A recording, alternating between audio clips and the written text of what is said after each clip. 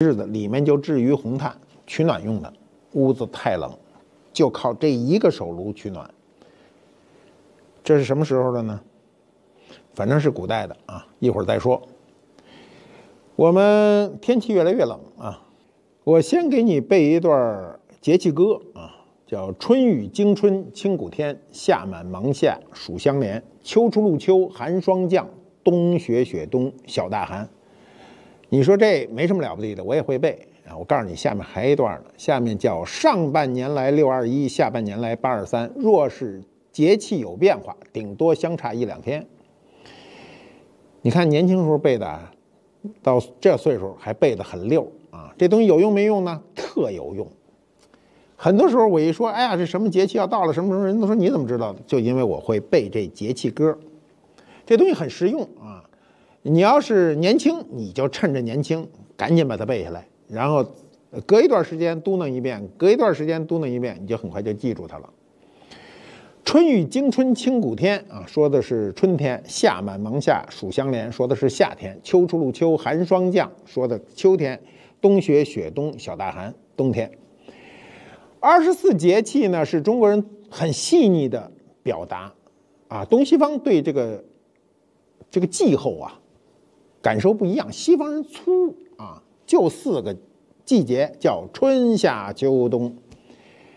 我们呢，把它划分成二十四个变化，就叫节气。节嘛就是节点，气呢是气候。嗯，所以你看啊，中国人换衣服啊，添衣减衣啊，都特勤；外国人就迟钝。为什么呢？因为他就四个季的变化，春夏秋冬。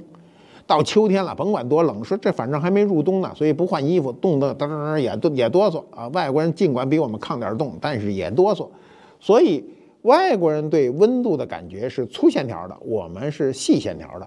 嗯，那为什么我们这么注重节气呢？是因为这个节气对农业呢非常重要。我们是个农耕民族啊，那过去的话说就是看天吃饭，就是天给你下雨，天给你刮风，天上给你掉什么就是掉粮食。人说天上下雨就是下钱呢。那么我们每个季啊，就是每个季节有三个月，每个月里有两个节气啊。那么春天呢，你比如春天啊，春天这仨月叫什么呢？叫孟仲季啊，孟春、仲春、季春。你看古人写信往往写，比如丙申年孟春，那就是。丙申年春天的第一个月，过去古代人啊，兄弟排行呢叫伯仲叔季。嗯，伯仲叔季呢，你一听仲尼啊，不用问啊，排二啊，所以孔夫子排二。你听这个伯夷啊，这个你不用提，不用听，排老大啊。那么表示季节啊，孟仲季，我们今天生活中很少用啊，偶尔想想听听诗歌中有。你像这个。孟郊的《游子吟》啊，谁言寸草心，报得三春晖啊？这三春啊，这三春一般说是三年啊。呃，有人认为就是春天仨月，其实是可能说的是三年。你比如李白还有诗啊，李白说呢：“一觉一回长一段，三春三月一三八。”这三春那就是春天的最后一个月，就是春晚春了。我们今天的人啊。不说这词儿，也不关心这词儿，叫物候。古人特别关心这物候，为什么？它是通过物的变化，感觉气候对应的变化。这个物候的后象呢，是包括了所有的生物啊。你比如植物啊，春天的发芽啊、开花啊、破土啊；动物呢，始振呐、始鸣啊、交配啊、迁徙啊，这些都是物候景象。你比如大雁南来北往的，都是物候景象。那么还有非生物的是什么呢？比如是上冻啦、解冻啦、呃初始打雷呀等等，这些都属于这个非生物的变化。那么古人认为啊，这一年中有七十二候，五天一候啊，一年三百六十天，五年五天一候啊。那么三候呢，就为一节，就是一个节气。那么两节呢，就是一个月，那就六节呢就为一季啊，这很容易算。今天啊，年轻人对季节感受啊，真的是不是特强烈啊，所以一看春，尤其春秋两季乱穿衣啊，呃，比如你秋天还死扛着呢，然后你妈老让你穿衣服，这就是流行的那句话，就是有一种冷是你妈觉得你冷啊，你老不穿吗？你妈觉得冷。过去有一句老话叫“春捂秋冻”，春天得捂着点，多热了都少脱。为什么脱急了容易感冒？秋天冻着点呢，是增强你耐寒的能力啊。我们你看看我们的邻国日本，那天我看到一个关于怎么让孩子抗冻呢的这个小知识，就是说你一定把他的。腹部保温保住了，就是穿一个棉背心儿，四肢不怕冻，越冻越健康。所以我们现在孩子就缺乏去动一动啊。那么古人对物候为什么敏感呢？是因为没有现代化的设施补充。我们今天有现代化的设施补充，是什么呢？空调、暖气，是吧？屋子又盖得很很很舒服。过去屋里屋外是一个温度嘛。你比如啊，唐代这个诗人杜审言有一句诗啊，这诗呢这个很有名，它叫“独有宦游人”。偏惊物候心，你看这句话上来就说这个物候心，他说偏惊什么意思呢？就是他很在意、很注重物候的变化，每一次变化他都看得见。为什么独有宦游人？什么叫宦游人呢？就是出去做官的。中国古代啊，对于官员的规定特别严格，比今天严格的多得多。中国古代很多时候官员出去啊为官，离开家乡出去为官，就防止有裙带关系，还不允许你带家属。你想想，你独自一个人到外地为官，你对那个地方的物候就非常在意，所以他叫独有宦游人，偏经物候心。那么他对物候的这种很细致的感受呢，他是表达他自己的一种思念。我们这种节气的变化，我们要注意啊！有很多人说这节气不准，说为什么不准呢？说我们那跟这怎么老不吻合？我们国家太大。我告诉你，节气变化以黄河流域为准，啊，小节气基本上都是以这个地方为准。你不能拿着别地儿说，你比如你在北京，你说这立春了，怎么还这么冷啊？那黄河流域，你比如河南商丘地区，它已经就变得很暖和了。那么春天呢？植物发芽，我们都知道大这个大节气都很清晰啊，就是一到立春啊、立夏、立秋、立冬啊，大节气都很清晰。那么春天啊一来，植物怎么着发芽啊？植物发芽很有意思啊。你知道过去人对植物发芽这事儿啊，比我们今天关心。他关心的原因是什么呢？是因为好多植物嫩的时候可以吃。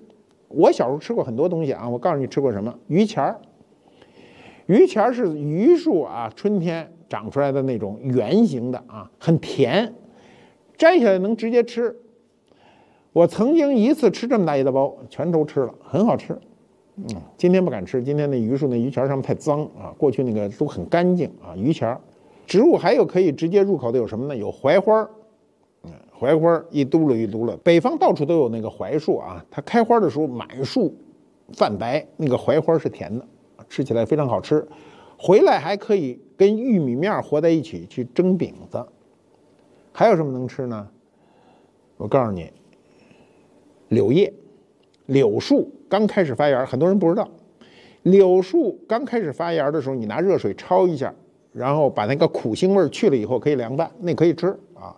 柳叶本身就可以入药啊，能够消炎利尿啊。但现在都不敢吃，为什么？现在这植物，尤其城市附近的这植物都太脏上头。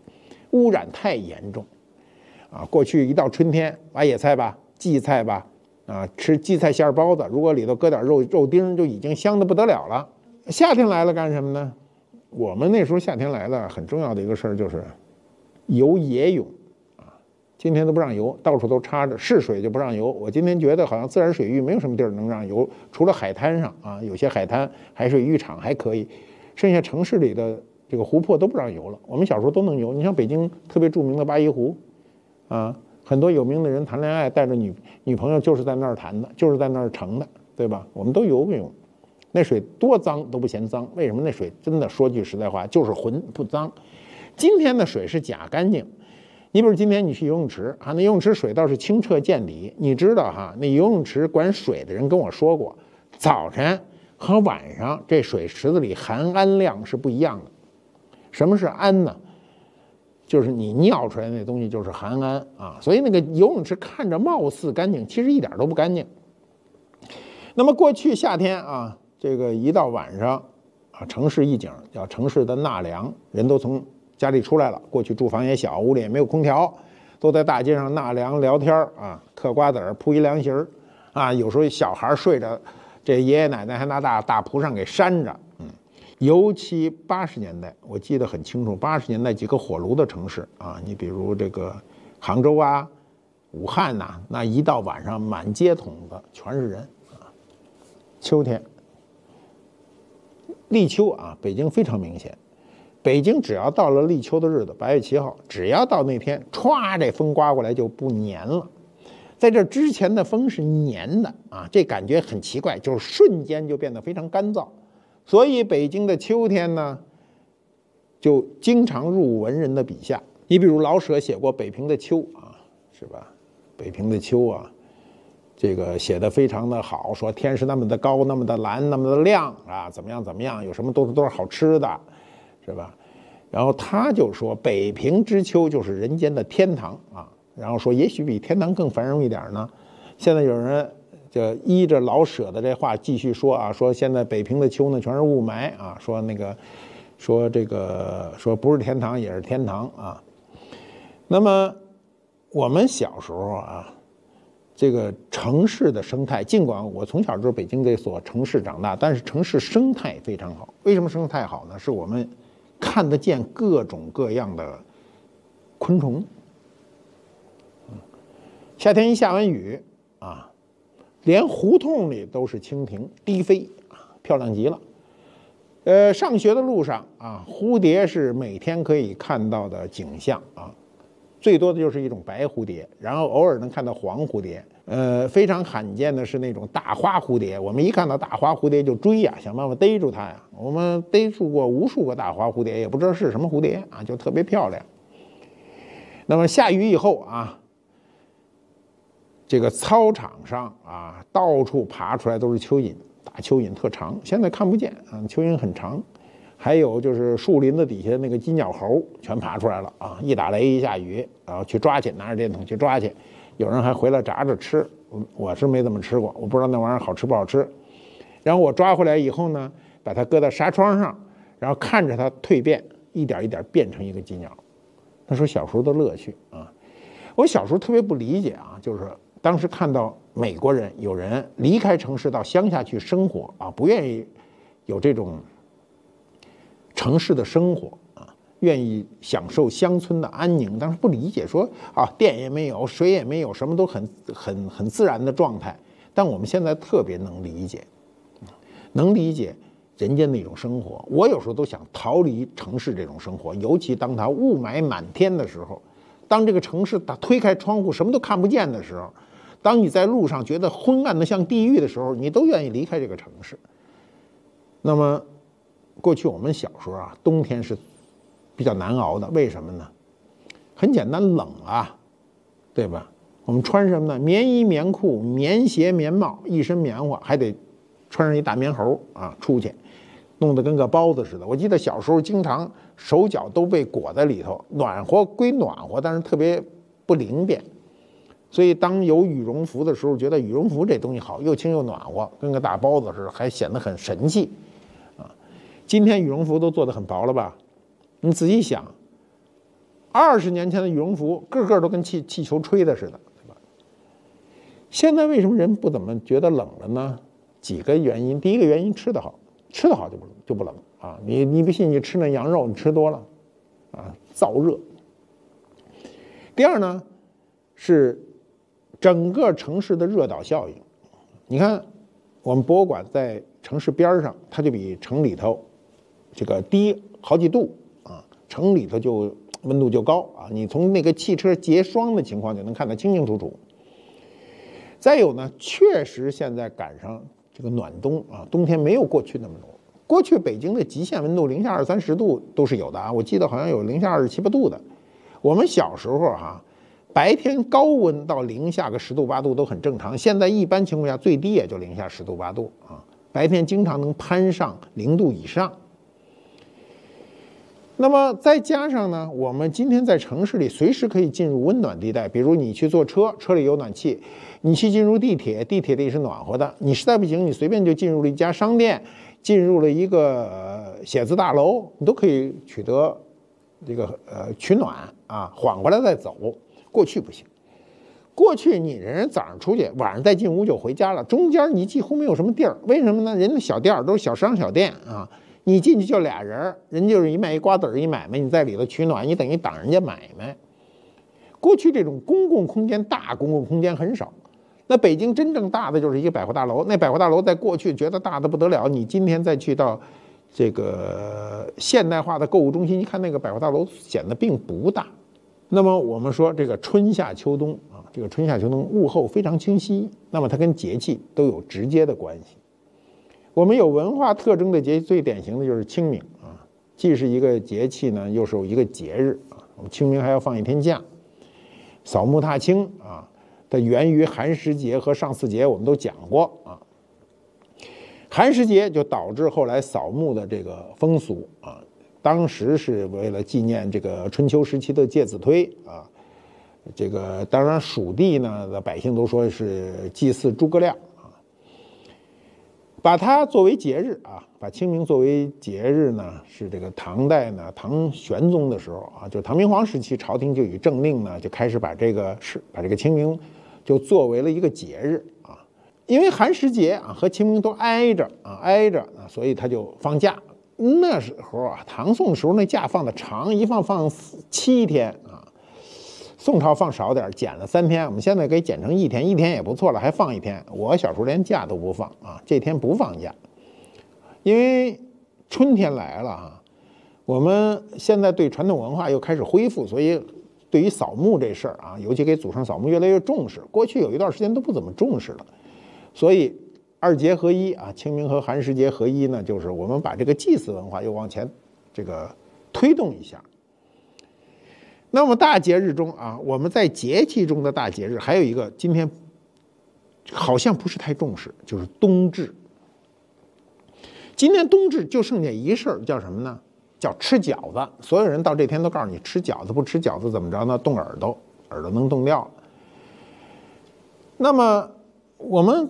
早期啊，就是先秦啊，或者是到了就周秦时代吧，就是这时候呢，冬天十一月呢，它就开始是正月了，以冬至呢为岁首过新年啊，这是我们早期的啊。现在听起来有点怪，为什么冬至为正月呢？就因为冬至这时候大家都闲着，能干点闲事儿。古人认为呢，从冬至这一天起啊，这个天地阳气呢就开始呢渐强了。我们要记住，立冬和冬至之间是有将近两个月的时间。冬至不是冬天到来的意思，是冬天最冷的时候。到了最冷，就肯定这个盛极必衰啊，就开始由最冷变成逐渐的转转暖。它代表了下一个循环的开始，所以古人认为冬至这天是大吉之日。我们知道，这个冬至这天呢是。白天最短的一天啊，过了冬至这天，白天就一天一天加长了。我们这个习俗啊，逐渐的演化，演化到后来以后，就把春节呢就变为了这个祭祖啊、家庭聚会啊等习俗，就把冬至呢就往前推了，所以叫小年。我们今天有时候说小年是腊月二十三，过去是以冬至开始，这天就开始过年了。我们冬至还有一个特征，就是冬至这天开始数九啊，我们每年是。九九八十一天啊，那就是春天彻底来了。过去有九九歌，是一九二九伸不出手，这个三九四九冰上走，五九六九隔河看柳，七九河开，八九雁来，九九加一九耕牛遍地走，大概是这么一个这个顺口溜啊。那么冬至啊，作为节日呢，是。到了汉武帝时期实行夏历以后呢，才把正月和冬至彻底的分开。所以呢，冬至今天依然可以算一个节日啊。我们希望未来的日子里，冬至这一天变成一个非常喜庆的节日。你们想想，冬至这一天大约都是在十二月二十一、二十二号这天。那么这个离春节最近还得有一个月，甚至一个半月。那么你想想，提前过一个年多好的一事儿。所以我们希望有一天，我们真的把。冬至这一天当个小节过过啊！我们到了唐宋时期呢，冬至是祭天这个祭祖的这个日子，皇帝在这一天都要到郊外搞祭天大典啊！你知道我们有天坛就是要祭天用的，老百姓在这一天要向父母尊长呢去祭拜。到了明清两代，皇帝呃到冬至这一天均有祭天大典，谓之冬至交天。那么宫内呢有百官向皇上呢呈递贺表的仪式，这个仪式非常隆重啊，表示这个新的一年即将开始，就跟元旦一样。元旦这个概念过去就是指春节，我们讲过。我们今天说的一月一号，公历的一月一号元旦是挪用的，这个新年是外国的，过去跟我们一点关系都没有。那么物候特征特别明显的节气有什么呢？夏至啊，我们刚才讲了夏至啊。呃，至就是到了极处了啊，就夏天到了最热的时候了，所以我们说夏满芒夏，暑相连，到了最热的时候，小暑大暑就一块儿就来了啊。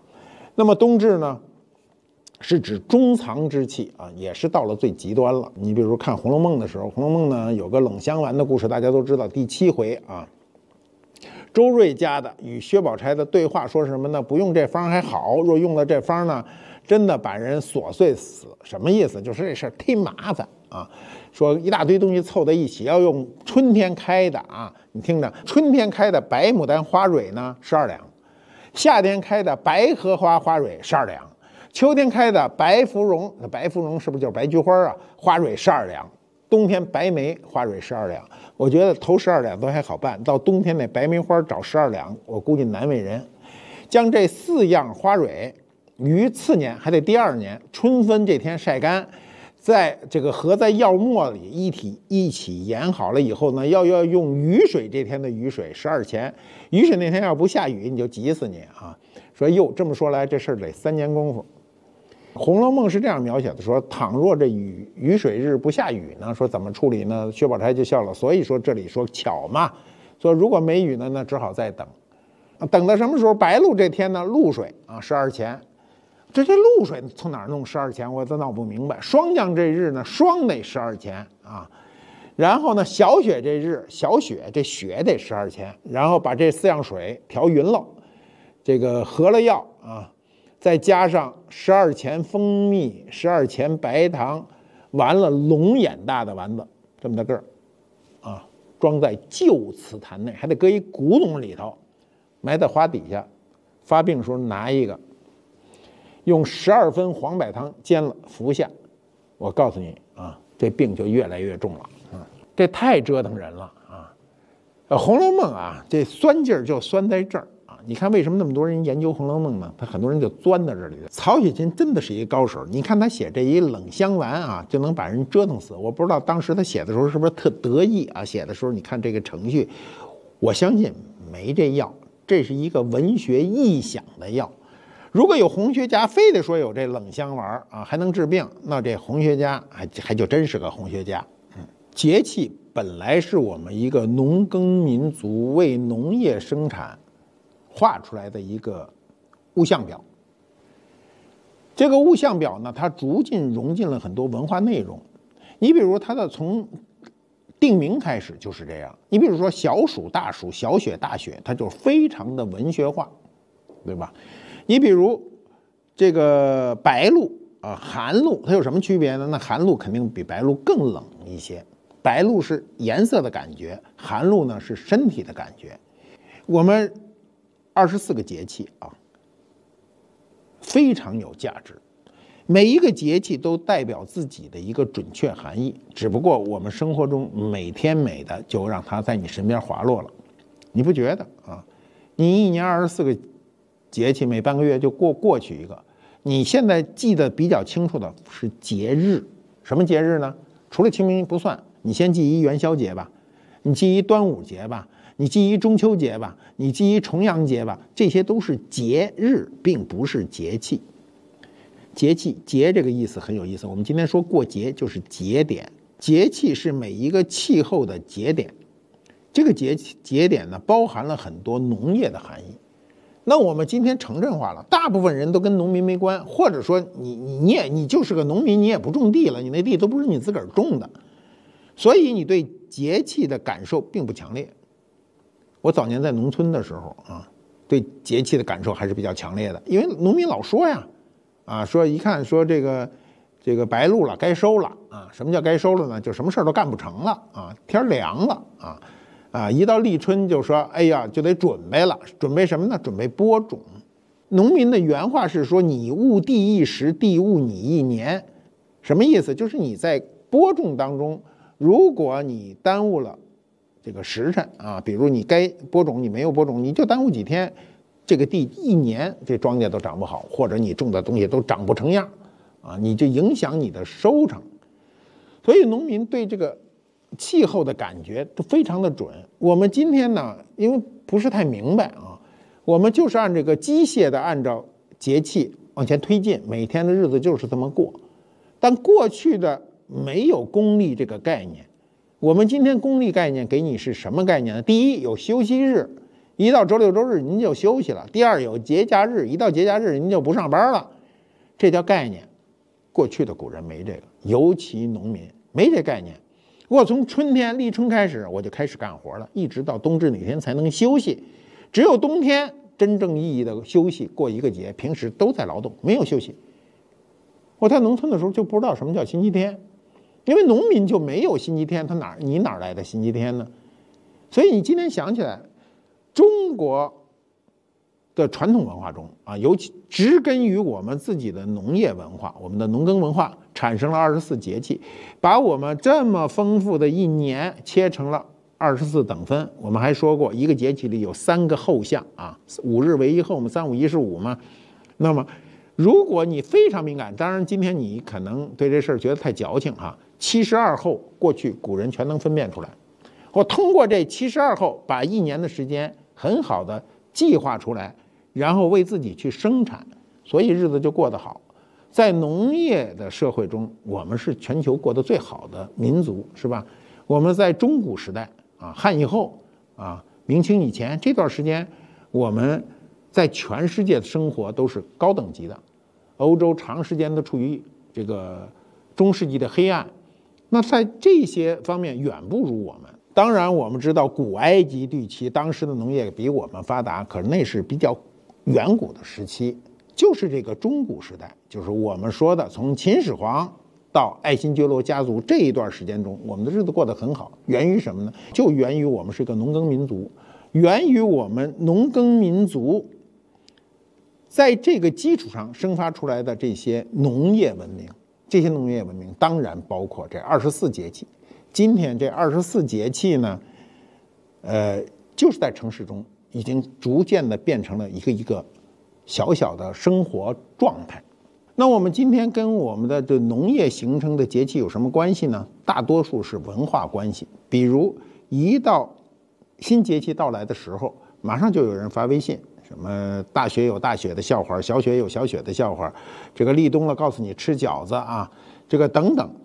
那么这种呃现代化的网络把。我们传统的二十四节气不停的提示给你的时候呢，我们也有这种启发。